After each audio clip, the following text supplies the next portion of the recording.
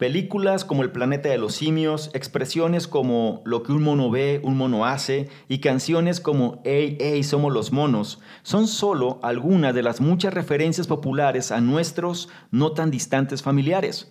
Pero los monos, más allá de recordarnos nuestro pasado evolutivo y jugar un rol en la cultura popular, la realidad es que ocupan un lugar psicológico dentro de cada uno de nosotros. La parte de nuestro cerebro chimpancé afecta nuestras decisiones, emociones y cómo interactuamos con otras personas. Algunas veces en conflicto con la parte más racional y humana de nuestro cerebro, y hace que nos comportemos de maneras que de otra forma evitaríamos. Si quieres profundizar dentro del universo que es nuestro cerebro, entender por qué reaccionamos como reaccionamos y sobre todo ¿Qué cosas nos harán estar en control de nuestros pensamientos, acciones y reacciones para no darle el poder al chimpancé de nuestra cabeza? Si es así, te invito a que te quedes y analices lo que traigo a continuación.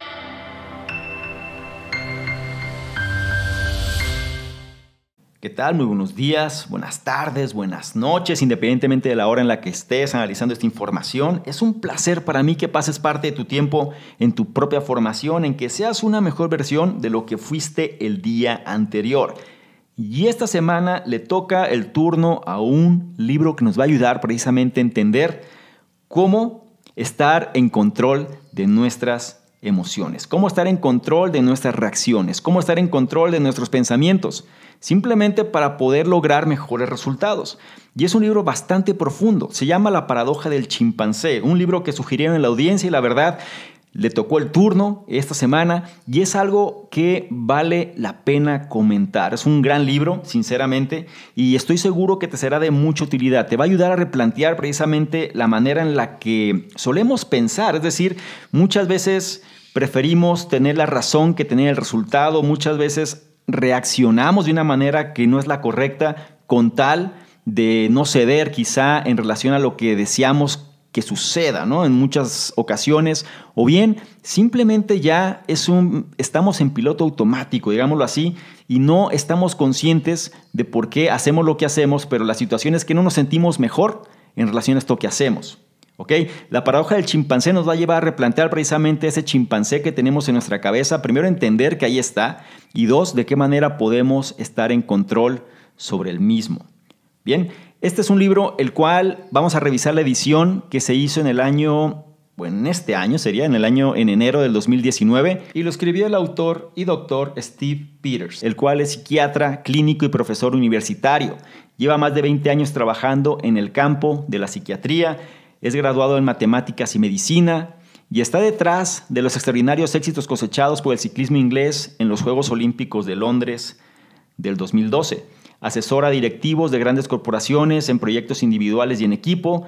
Y este es uno de los libros más galardonados donde comparte precisamente las técnicas que lo han hecho saltar a la fama. En este análisis vas a aprender bastante. Una de las cosas o tres aspectos principales que vas a entender es ¿Cómo saber si nuestro lado chimpancé está en control de nuestras acciones? También, ¿cuál es la parte computarizada de nuestro cerebro? Y vas a comprender las cuatro maneras principales de comunicarnos, entre otras cosas.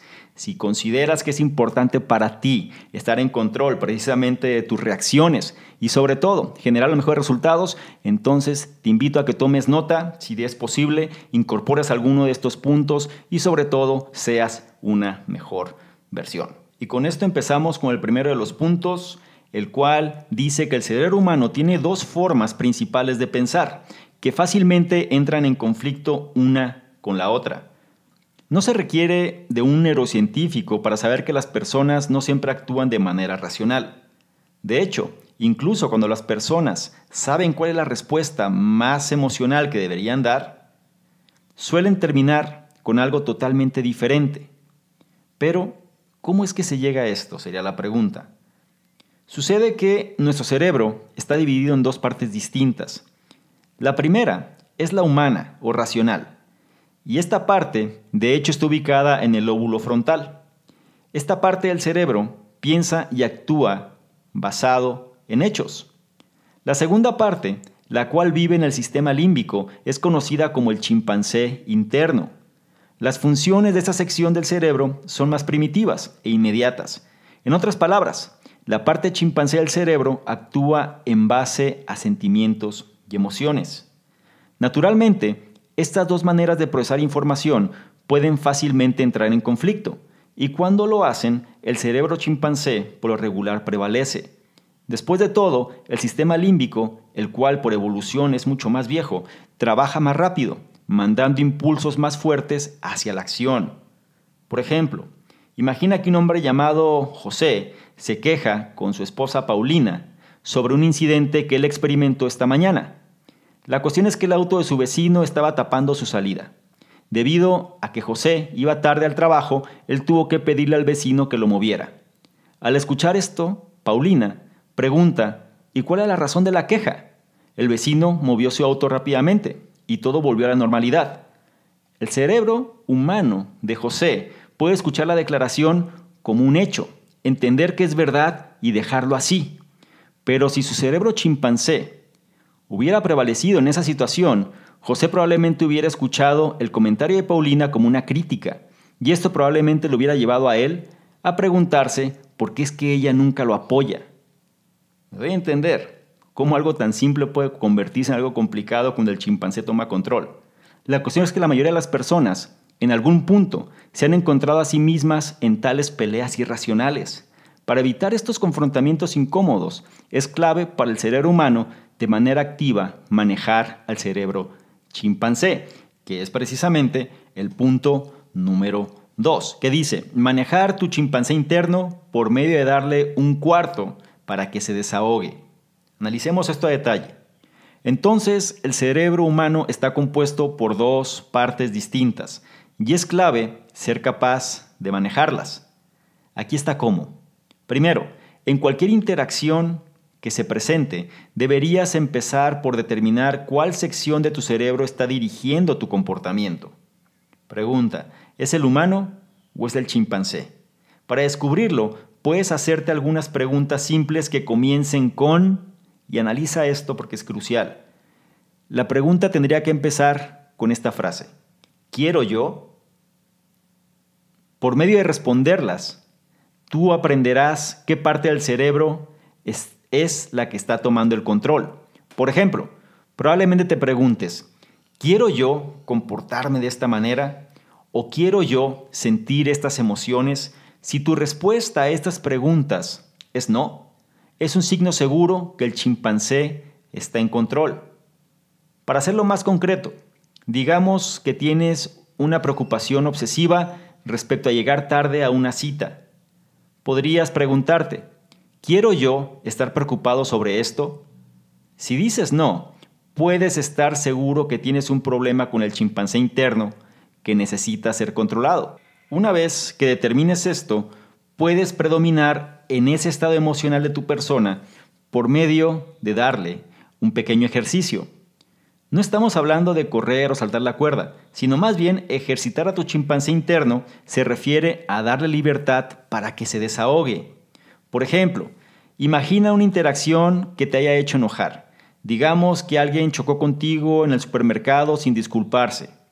La clave aquí es permitirte a ti mismo, a ti misma expresar tu enojo de una forma completamente libre de censura, pero en un ambiente seguro, maldiciendo y despotricando sobre el evento por 10 minutos si así lo deseas y diciendo cualquier cosa que te aparezca por tu cabeza.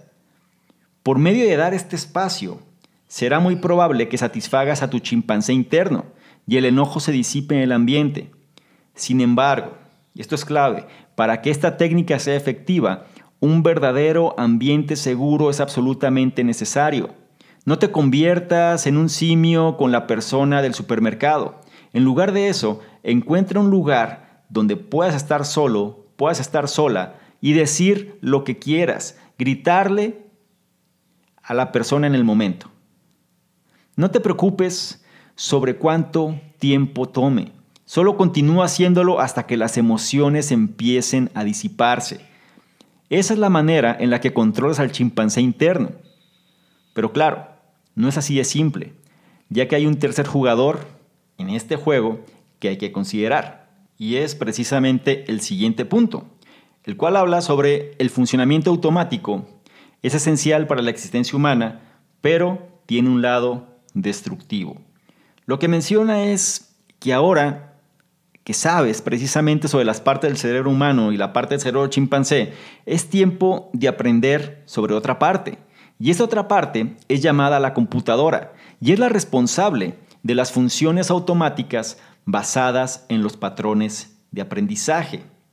Esto es esencial, ya que el piloto automático juega un rol mayor en la vida de la mayoría de los humanos. Tales comportamientos automáticos están basados en patrones que tú has aprendido, creencias que has absorbido y programas que has establecido.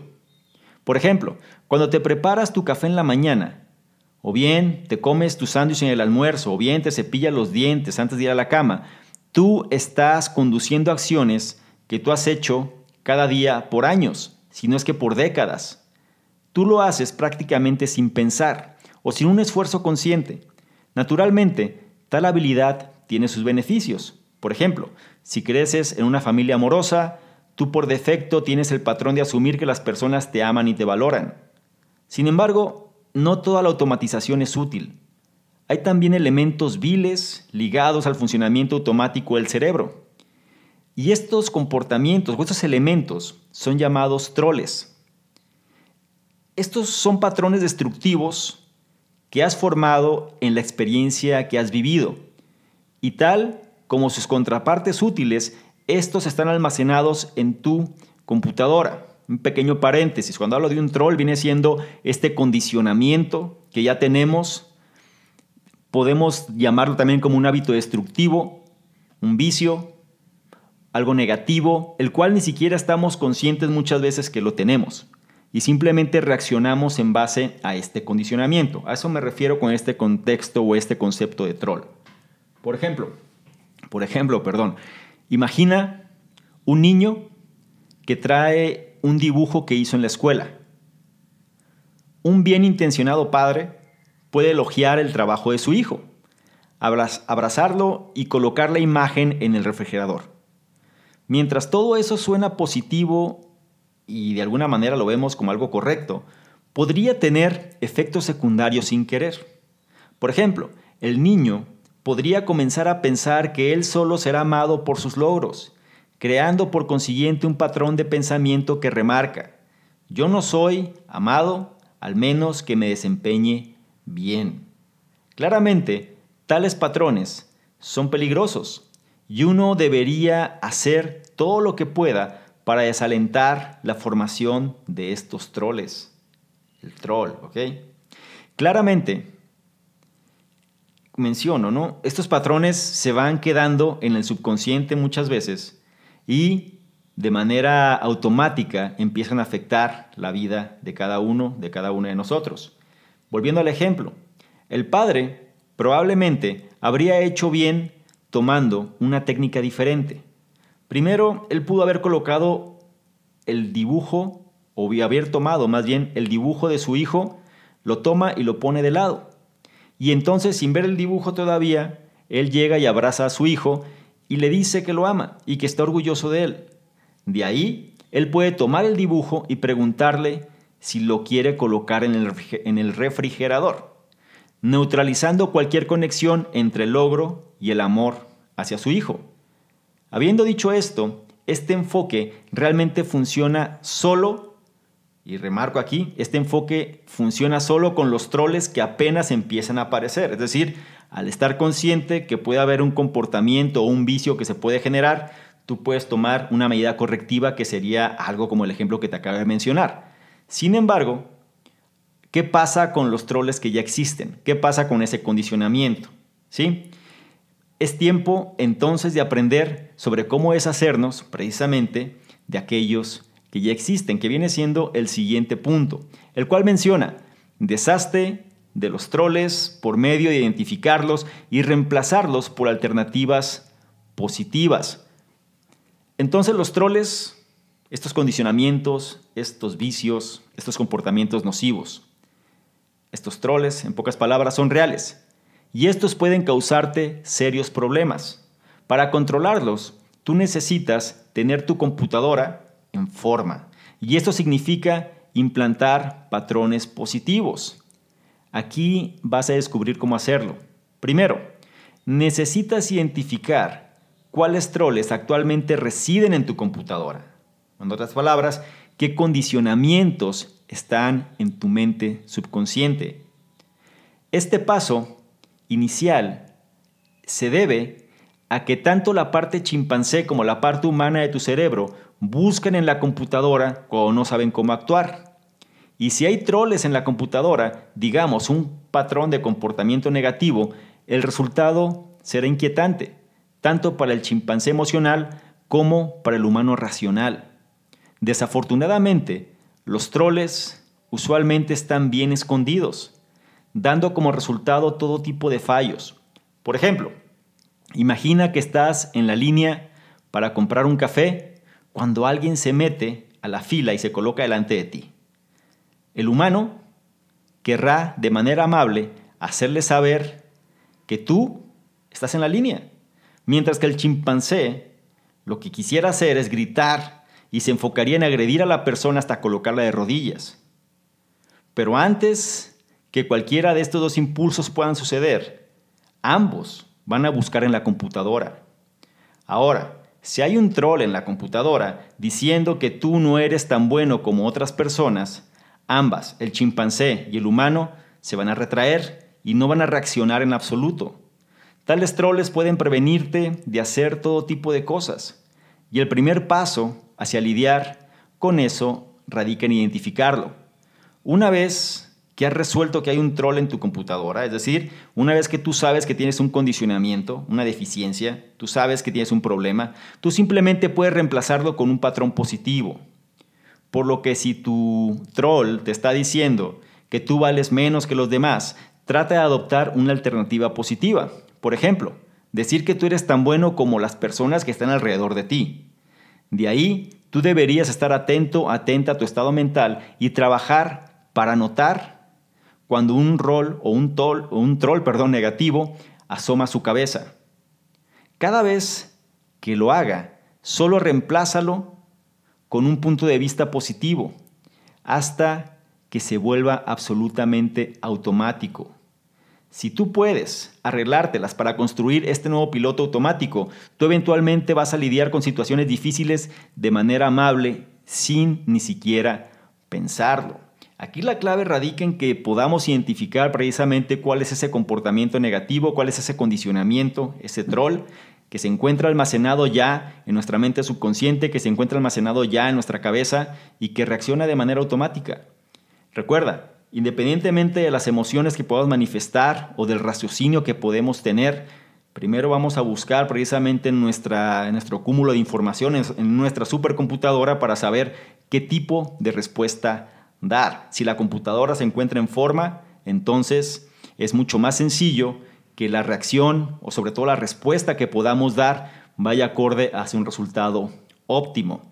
El siguiente punto habla precisamente sobre la importancia de entender que el chimpancé tiende a olvidar que diferentes personas tienen diferentes cerebros.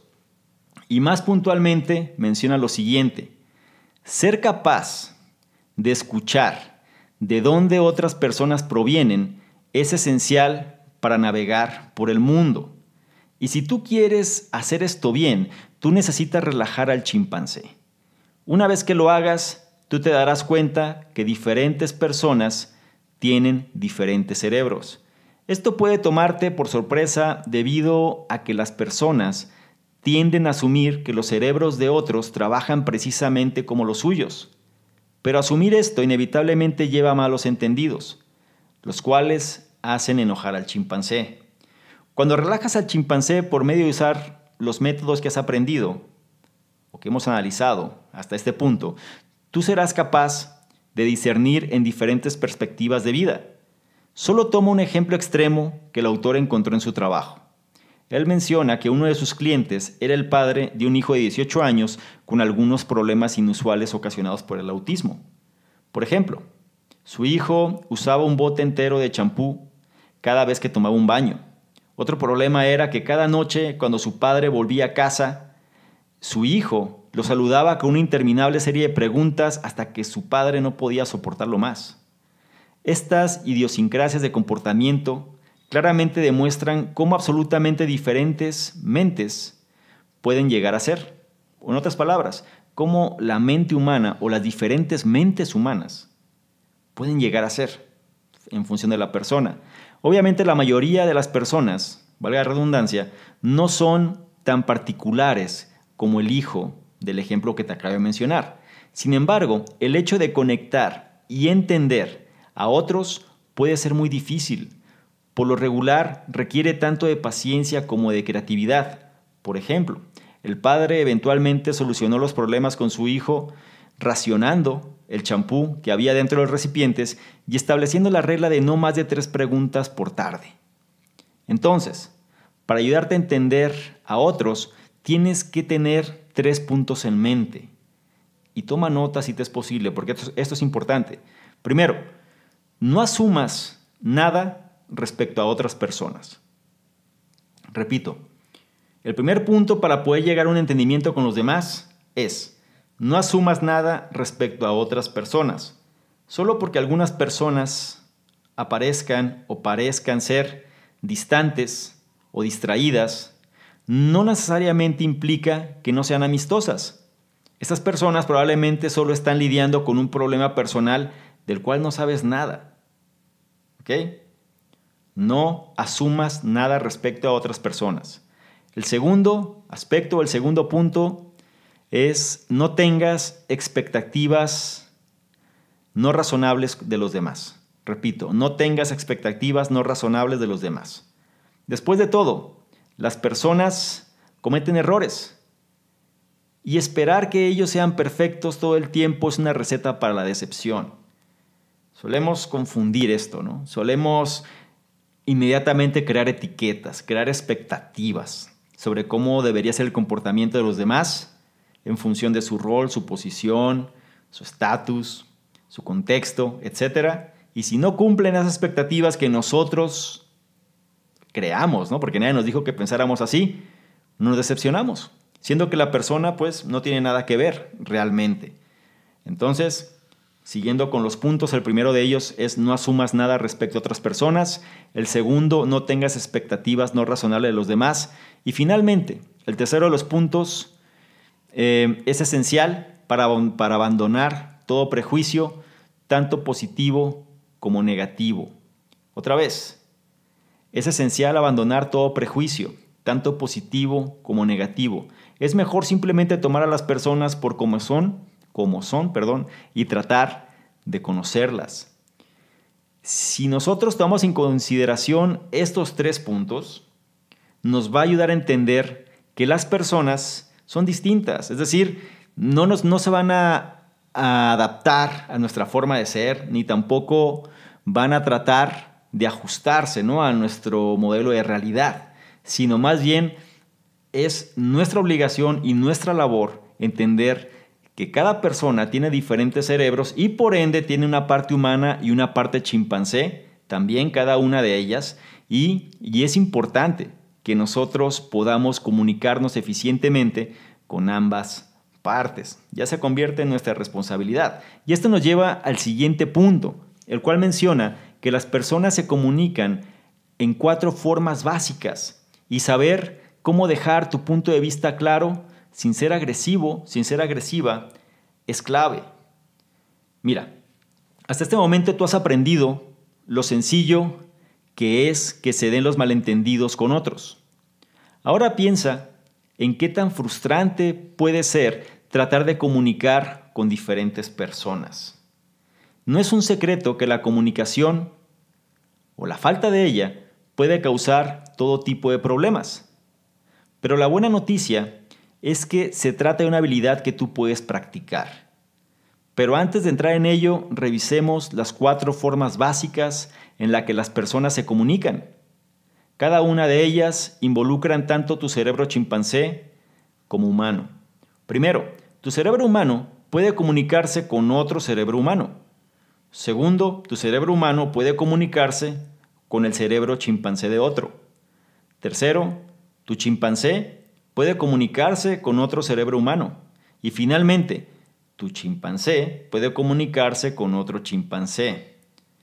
En este escenario final, los resultados tienden a ser muy feos y la calamidad resultante es familiar para cualquiera que ha visto una pareja en una discusión. Para evitar tales momentos tan poco placenteros, miremos cómo establecer condiciones ideales para no engancharse y dejar ir, y esto es crucial. Condiciones ideales para no engancharse y dejar ir. El ejemplo que hace el autor es interesante, ¿no? Con una pareja discute, ambos en su parte chimpancé, sería interesante analizar un video de National Geographic o Discovery Channel donde veas a dos chimpancés que están peleando. Es similar, ¿sí? Cuando la parte chimpancé toma control, puede ser un caos. Entonces, para no engancharse con el pie derecho, es decir, para empezar bien y hacer que las cosas puedan funcionar, es importante lidiar con los problemas al momento que aparecen y hablar de una manera asertiva y no agresiva. Las personas por lo general tienden a hablar sobre tales problemas con todos excepto con la persona con la que tienen el problema. Esta no es una manera efectiva de resolver las cosas. Es mejor lidiar con la persona directamente mientras mantienes en mente que la agresión usualmente hará las cosas peores. ¿Estás consciente de esta idea? Mucha gente quiere quejarse simplemente y se queja y es víctima y trata de hacer ver mal ¿no? a la otra persona con todos los demás, pero no se atreve a enfrentar a la persona. O bien cuando la enfrenta simplemente no dice nada, pero se guarda todo y después trata de explotar, ¿no? trata de diseminarlo por todos lados simplemente para seguir repitiendo el patrón. Aquí la clave es que conforme el problema aparezca, hay que hablar de una manera asertiva y no agresiva. Una ley o un consejo ¿no? que por ahí alguien mencionaba es nunca te vayas a la cama enojado. Es decir, si tienes un problema, háblalo antes de irte a dormir y solucionalo. De otra manera, todo eso se va acumulando. llega un momento en el que ya no puedes cargar todo eso y pasan cosas mucho peores. ¿sí? La clave aquí es cuando tú puedes manifestar un problema al momento que aparece y puedas hablar y o puedes hablar de una manera asertiva y no agresiva, es cuando vas a buscar resolver de una manera más efectiva el problema, ¿sí? Y la cosa es que es mejor lidiar con la persona directamente mientras mantienes en mente que la agresión usualmente hará las cosas peores. Después de todo, la comunicación agresiva es una comunicación emocional y necesariamente y necesariamente disparará una respuesta emocional. El ser asertivo, por el otro lado, el ser asertiva, por el otro lado, se basa en explicar de dónde es que tú vienes. Y voy a remarcar esta frase, de dónde es que tú vienes. Por ejemplo, imagina que tú llegaste tarde a una cita para cenar con un amigo, quien por esa razón se molesta y empieza a levantar la voz y discutir contigo. Empieza la parte chimpancé, ¿ok? El ser asertivo en tal situación significaría hacer tres cosas. Primero, dile a la persona lo que no quieres. Segundo, explica cómo esta situación te hace sentir. Y finalmente, di lo que quieres. Más concretamente, siguiendo este ejemplo, tú deberías decirle al amigo que tú no quieres que te estén gritando, ya que eso te hace sentir intimidado, intimidada, y lo que tú prefieres es que hablen un volumen adecuado para poder entenderse mejor. Y aquí voy a hacer un, un paréntesis, perdón. A veces las personas cuando hablan de un problema de comunicación se quejan de la contraparte y demás, pero la clave en todo esto es que tú entiendas en qué momento el chimpancé entra en función. Se manifiesta de manera automática. La gente busca discusiones, las personas buscan de alguna manera sacar sus frustraciones y cuando eso sucede no lo hacen de una manera asertiva, sino lo hacen de una manera de imponer una voluntad. A eso se refiere la parte chimpancé. Pero la, la cuestión más importante es que tú seas asertivo, asertiva sobre la situación, es decir, que detectes cuando eso se esté manifestando. Y la manera más fácil de contrarrestar un chimpancé es cuando el cerebro racional entra en acción. el ser asertivo, porque vas a desarmarlo de alguna manera. Siguiendo con el ejemplo, ¿qué es lo que sucede si una persona se empieza a, empieza a sacar su parte chimpancé y empieza a discutir contigo? Lo primero, dile a la persona lo que no quieres. Manifiéstalo de una manera asertiva, no agresiva. Segundo, explica cómo esa situación te hace sentir, es decir, por qué no lo quieres.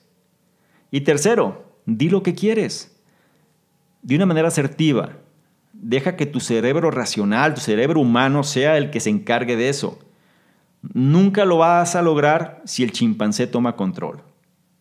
Bien, de otra manera, va a ser un chimpancé contra un chimpancé y es algo que puedes verlo claramente cuando analizas situaciones donde Mm, parejas empiezan a discutir y cada quien quiere imponer de alguna manera su voluntad o su autoridad. En este momento tú ya estás en una fase más avanzada y sobre todo ya entiendes, o quiero yo pensar que ya entiendes cuál es la clave para tratar de mitigar al chimpancé y sobre todo saber que, que todos nosotros como humanos tenemos un cerebro chimpancé y un cerebro humano, que entran en conflicto sí, y que por cuestiones biológicas el cerebro chimpancé, por estar en el sistema límbico, puede ser que procese más rápido las cosas o que nos comportemos más en base a lo que ese cerebro límbico puede hacernos pensar. Sin embargo, ahora ya lo sabes y cada vez que entres en una fase de discusión, recuerda quién está teniendo el control, el chimpancé o el humano. Y esto nos lleva a un punto también interesante que menciona el autor y dice que mantenerte saludable es fácil si te enfocas en soluciones en lugar de problemas. Y repito otra vez, mantenerte saludable es fácil si te enfocas en soluciones en lugar de problemas. Por ahora, tú has visto cómo el cerebro y sus diferentes partes afectan el comportamiento humano. Ahora es tiempo de aprender cómo el cerebro chimpancé y el cerebro humano pueden impactar tu salud. Es verdad, el, cerebro perdón, incluso puede afectar tu bienestar físico, por lo que resulta fácil mejorar tu salud por medio de traer tu atención a soluciones en lugar de problemas. De hecho, el dilema de la salud física es la quinta esencia del debate humano contra chimpancé. ¿Por qué? El humano, o la parte humana del cerebro, quiere ejercitarse, quiere perder peso, quiere estar en forma, Mientras que la parte chimpancé del cerebro quiere tumbarse delante del televisor con un gran bote de helado. Cuando te enfrentas con esa contradicción, concentrarse, y esta es la parte clave, concentrarse en problemas que tú tienes en este momento, o la razón por la cual tú quieres perder peso, la razón por la cual tú quieres ejercitarte, puede ser ya que tienes algún problema de sobrepeso. Entonces, si tú te concentras en problemas como estar con sobrepeso, solo va a fortalecer a tu chimpancé interno, ya que entre peor te sientas sobre ti mismo, sobre ti misma, más buscarás los placeres rápidos de la comida chatarra y la pereza. Entonces, en lugar de caer dentro de esta trampa, solo concéntrate en lo que quieres. En este caso, significaría lo que tú quieres es mantenerte en forma y deshacerte de algunos kilos. Ese sería tu enfoque no en que si me veo mal, no en que el sobrepeso, no en que qué piensa la gente, sino más bien, por mi salud yo necesito hacer esto. Y ya. En otras palabras, para ser saludable tú necesitas ser tanto productivo como responsivo. Responsivo es, cuando, perdón, es cuando tú de alguna manera reaccionas eh, o tratas de responder de manera sensible. ¿sí? Vamos a analizar más puntualmente este punto. Por ejemplo, Imagina que quieres, como dije antes, vamos a retomar el ejemplo de antes. Imagina que quieres ponerte en forma y lo que haces, sacas tu membresía del gimnasio local y agendas dos entrenamientos por semana y te aseguras, esta es la parte clave de este ejemplo, y te aseguras con un amigo que ya esté en forma y que entrene de manera regular, que vaya contigo o tú vas con él, según sea el caso, o con ella, según sea el caso. De esa manera, tú ya tienes un plan ya tienes un gimnasio, ya tienes la membresía, ya tienes la persona con la cual te vas a apoyar para entrenar. ¿sí? La cuestión es que después de dos semanas te encuentras faltando a la agenda asignada para el gimnasio, por la cuestión que tú quieras. Entonces, es hora o es momento de ser responsivo. ¿A qué me refiero?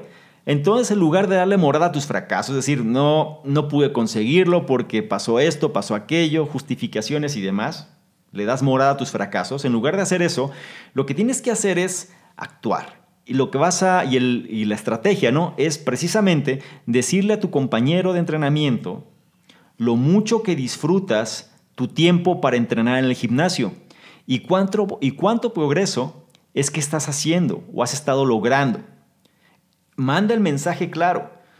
Tu compañero va a incentivarte para que lo sigas haciendo. Y en ese momento, ese simple comentario va a motivar a tu chimpancé emocional, cuyo único objetivo es sentirse bien y estar en un ambiente seguro. Y las probabilidades son que tú felizmente retomarás el gimnasio para probarle a tu amigo, a tu amiga, que estabas siendo serio o seria, ¿no? Según sea el caso.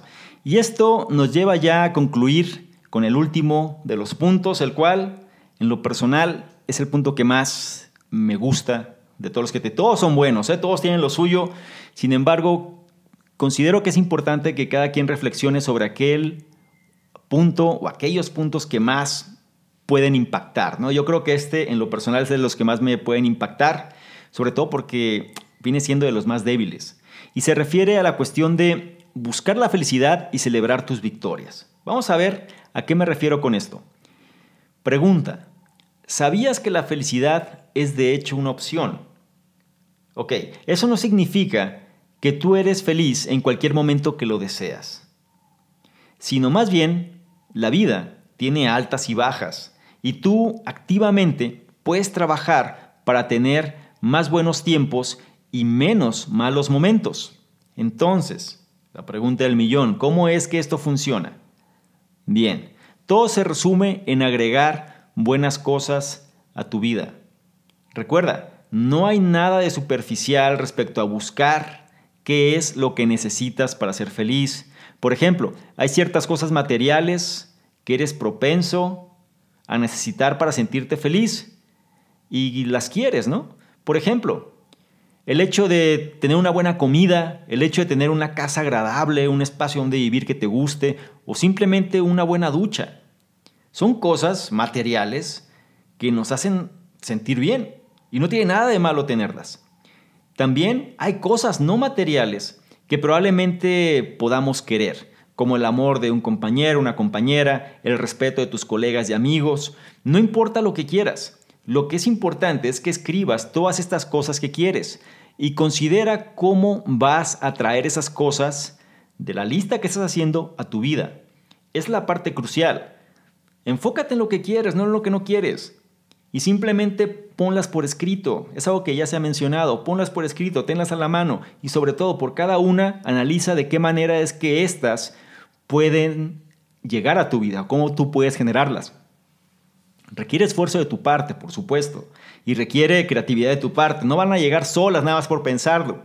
Sin embargo, el hecho de tenerlas presente pueden cambiar precisamente el estado mental en el cual te desempeñas.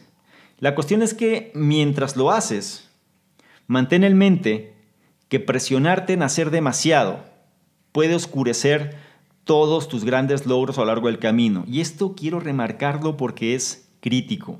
Otra vez. ¿Por qué lo digo? ¿Cuántas veces no estamos logrando cosas y no le damos el tiempo ni el respeto ni la satisfacción que merecen? Normalmente cuando alguien tiene metas y logras una y luego otra y luego otra, siempre estás pensando en la siguiente. Y a pesar de que al principio tú decías, una vez que logre esto voy a conseguir aquello, una vez que logre esto y hacer de esta manera, una vez que suceda esto voy a relajarme para entonces buscar nuevas alternativas y disfrutar más de las cosas. Muchas veces ni se relaja la persona y simplemente vive, mantiene ese ritmo de estrés a niveles cada vez mayores. A eso se refiere este punto en particular, en la importancia de celebrar tus victorias. Buscar la felicidad es tan simple como el hecho de escribir lo que quieres y pensar o considerar cómo vas a traer esas cosas que quieres a tu vida. Eso es buscar la felicidad. Y celebrar tus victorias es precisamente no caer en el error de presionarte en hacer demasiado, porque puede oscurecer todos tus logros a lo largo del camino. ¿no? En otras palabras, la verdadera cuestión con la felicidad es que la parte chimpancé de tu cerebro, y esto trata de interiorizarlo, ¿no? Menciona que la parte chimpancé de tu cerebro nunca va a estar satisfecha, siempre buscará más, peligrosamente guiando hacia el logro, pero no a la felicidad. Repito, la parte chimpancé de tu cerebro nunca estará satisfecha, siempre buscará más, siempre estará de alguna manera peligrosa guiando hacia que hagas cosas, pero no hacia la felicidad. Un ejemplo, imagina un atleta cuya última meta es ganar una medalla olímpica. Esa es su meta máxima. En su camino hacia la cima, el atleta obtiene un buen número de títulos nacionales y lo coloca en los reflectores del atletismo, es decir, empieza a conseguir logros de tal manera que empieza a ser reconocido por ello. Sin embargo, a pesar de sus logros, este atleta nunca celebra, nunca celebra porque en su mente nada más está la medalla olímpica. No considera importante cada uno de los pasos o cada uno de los escalones, ¿no? Que está de alguna manera avanzando, de los peldaños, ¿no? Que está avanzando, porque simplemente su meta está en la medalla olímpica. No considera, eh, no es que no las considere importantes, sin embargo, no los considera motivo de celebración. Esa es la cuestión. Las probabilidades son que a pesar de que gane el oro olímpico, es decir, a pesar de que llegue a la medalla olímpica y lo gane, es muy posible que este atleta no será capaz de disfrutarlo. En lugar de eso, inmediatamente se moverá a su siguiente triunfo potencial y después al siguiente, hasta que su cuerpo dé la mentalidad del chimpancé, es decir, el cerebro chimpancé, la parte chimpancé está tomando control ahí. Tal práctica, si una persona guía su vida de esa manera, tal práctica es una receta para el desastre y necesitas evitarlo. Y para poder que eso no suceda, simplemente la clave aquí es necesitas apreciar tus logros conforme llegan, asegurándote de disfrutar la felicidad por la que tú originalmente hiciste el esfuerzo. Repito, si tú quieres quitarle al chimpancé fuerza, y sobre todo disfrutar cada momento, necesitas apreciar tus logros conforme llegan. No sabemos qué va a pasar mañana, no sabemos si vamos a estar aquí o no. Entonces, ¿por qué vas a postergar algo que al final es resultado de un esfuerzo que has hecho? No te victimices, no te castigues, no trates de hacerte sentir menos, no trates de, ah, esto nada más es una parte del proceso, pero aún no he llegado, entonces yo no voy a festejar, porque muchas veces tenemos la mentalidad o la influencia de muchas personas que trabajan demasiado, que te dicen que siempre tienes que buscar lo más alto posible, que no te detengas, que sigues avanzando. Sin embargo, si tú no te aseguras de disfrutar el proceso, y es lo que me refiero aquí, si el proceso no te aseguras de disfrutarlo, entonces va a llegar un momento en el que la felicidad se va a ir por la ventana. Lo que tú necesitas, reitero aquí, y disculpa soy incisivo en esta parte, pero considero que es importante, lo que tú necesitas es apreciar tus logros conforme llegan, asegurándote de disfrutar la felicidad por la que tú originalmente te esforzabas. Una vez que has clavado esta pieza, ¿sí? que entiendes lo importante que es buscar la felicidad y sobre todo celebrar tus victorias, tú tendrás una caja de herramientas completa para burlar a tu chimpancé. Solo recuerda los aspectos clave Hacer planes sanos para contrarrestar tus urgencias primitivas. Dejar ventilar a tu persona en espacios seguros. Comunícate con sabiduría y amor y celebra todos tus éxitos a lo largo del camino. Si haces esto, es un hecho que el chimpancé estará bajo tu control. Y con esto llegamos al final de este análisis y no me gustaría terminar sin antes concluir con lo siguiente. Tu cerebro está compuesto de distintas partes, cada uno operando acorde a su propia lógica interna. Algunos son racionales, pensantes y objetivos, mientras otros son altamente emocionales, impulsivos o responden simplemente de manera automática. Mientras tales diferencias pueden naturalmente entrar en conflicto, tú puedes manejarlas por medio de atención y entrenamiento. Si me permites darte un consejo, para cerrar este análisis, mi consejo sería, cuando estés con una persona, ten en consideración que esa persona tiene su parte humana y su parte chimpancé. Y si tú detectas que el chimpancé empieza a salir, contrarréstalo con tu parte humana. Lo peor que puede suceder es que un chimpancé empiece a comunicarse con otro chimpancé y sobre todo inicien un conflicto. ¿Quieres que esto te quede más claro? Analiza un video en YouTube donde veas, o en el lugar que tú quieras, donde veas a dos chimpancés pelear. Y te vas a dar cuenta que así es como se ven dos personas cuando su lado chimpancé predomina. No permitas que eso, ahora que lo sabes, te vuelva a ocurrir. Y con esto cierro este análisis, espero que haya sido de tu agrado, espero que hayas aprendido. A mí me pareció bastante, bastante bueno, es decir, tan simple la idea, es decir, muchas veces ya sabemos muchas cosas, sin embargo, como que hay eslabones que hay que ajustar. Y la paradoja del chimpancé es un libro que nos ayuda a replantear precisamente, oye, pues es tan simple como eso. Cuando una persona empieza a actuar por impulsos, no es la persona racional, es la persona, o en este caso, la parte chimpancé, la parte animal, la parte reactiva, la parte agresiva, la parte emocional. Y si eso entra totalmente en control, pues es cuando el caos empieza a ocurrir. Ahora que lo sabes, se refiere entonces, porque alguien puede decir, bueno, se refiere entonces a nunca manejarnos por emociones, no, porque al final, obviamente, los placeres de la vida entran cuando la emoción está presente. Sin embargo, el hecho de llevar una relación más sana con los demás, el hecho de tener mejores resultados, el hecho de no dejarte enganchar y sobre todo vivir una mejor eh, calidad ¿sí? de vida, en este caso, radica, como sabemos, perfectamente diferenciar entre ambas partes del cerebro. Por algo están ahí, se necesitan y tiene que ser algo que sepamos manejar.